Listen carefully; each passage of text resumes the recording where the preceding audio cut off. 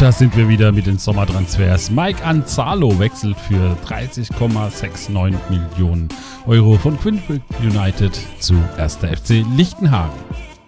Und auch der nächste Spieler knackt noch nicht die 40 Millionen Euro. Konstantin Timke wechselt von FC Klumpatsch für 33 Millionen zu VfL Chemnitz.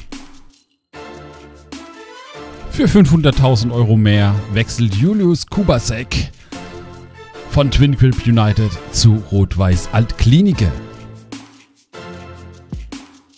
Und RWA hat nicht nur einen Spieler geholt, sondern zwei. 34 Millionen Euro ist der 23-jährige Stürmer hier die Rot-Weißen wert. Couch Potato freut sich über das Geld. Thomas Hallener, der 26-jährige, geht für 37 Millionen Euro von 1. FC Lichtenhagen zum VfL Chemnitz. Na, hoffentlich steckt man da nicht die Konkurrenz.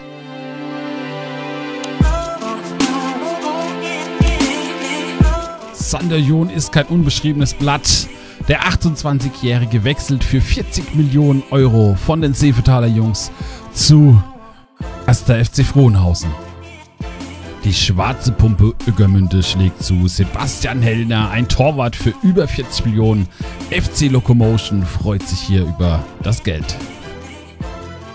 Viele Erstligisten im Petto, auch die Galaktischen, holen sich einen Stürmer. 21 Jahre, 40 Millionen Euro und 500.000 Euro von FC Snackdown 89. Und auch der nächste Spieler wechselt in die erste Liga. Marvin Afranovic, der 19-Jährige vom FC Cologne zu den Elfen Legends. Von den Fans Basti gerufen. Sebastian Seidel, 20 Jahre, 43,5 Millionen Euro. OFC Achilles Sports freut sich und erster FC Lichtenhagen auch.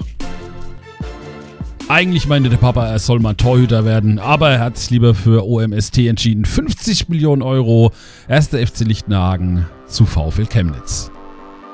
Der Meister vollbringt Historisches. Der teuerste Transfer Nico Rieger, 17 Jahre OMSD für 72 Millionen von Eintracht Höchst zu FC Eichhorn.